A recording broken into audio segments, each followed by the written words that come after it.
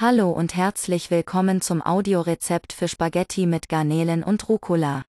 Eigentlich sollte Mandelbasilikum-Pesto mit Tomaten auf Spaghetti zubereitet werden, die beste Ehefrau von allen meinte jedoch, sie wolle kein Mandelpesto essen. So wählte man denn ein anderes Gericht aus der reichhaltigen Palette von Jamie Oliver, das er in seinem Buch Genial Italienisch dokumentiert hat, nämlich Spaghetti mit Garnelen und Rucola, Spaghetti con Gamberetti e Rucola. Es ist ein ideales Gericht als Abendessen, weil es kalorienarm und auch die Menge gut dosierbar ist. In Abwandlung zum Original kommt hier mehr Knoblauch zum Zuge und der geriebene Parmesan. Jamie Oliver hatte das Rezept auf der Speisekarte eines Restaurants in einem nicht sehr vornehmen Viertel Palermos kennengelernt. Im Interesse seiner Leser, auch der Deutschen, gefiel ihm, dass die Zutaten auch bei uns problemlos erhältlich sind.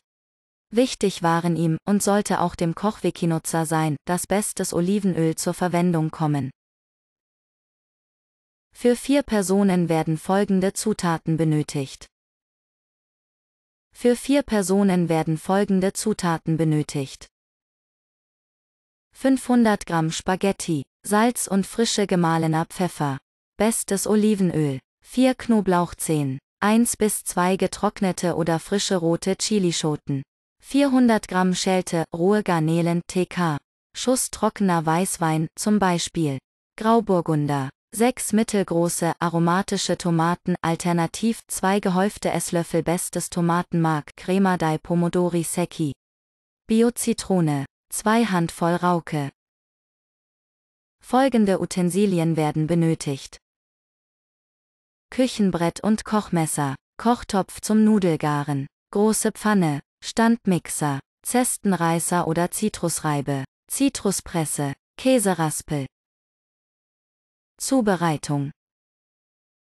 Die Garnelen komplett auftauen, den Knoblauch schälen und fein hacken, die Chilischoten zerkrümeln oder ganz klein schneiden, dabei darauf achten, dass die Samenkörner entfernt werden, sonst überwiegt die Schärfe des Gerichtes.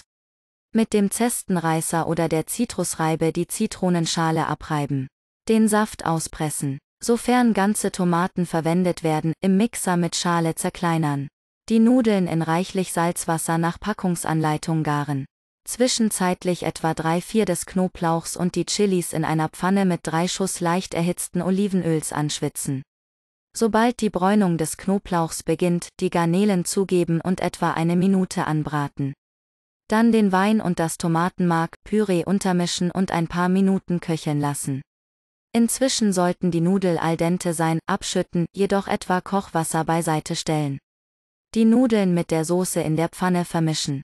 Den Zitronensaft, die Hälfte des Salates und, wenn die Soße etwas zu dick wird, etwas Kochwasser zugeben. Mit dem restlichen Knoblauch, Salz und Pfeffer abschmecken und auf den Tellern anrichten.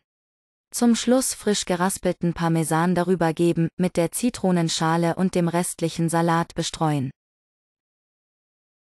Als Beilagen eignen sich trockener Weißwein, zum Beispiel der Rest des als Zutat verwendeten. Viel Spaß bei der Zubereitung und guten Appetit!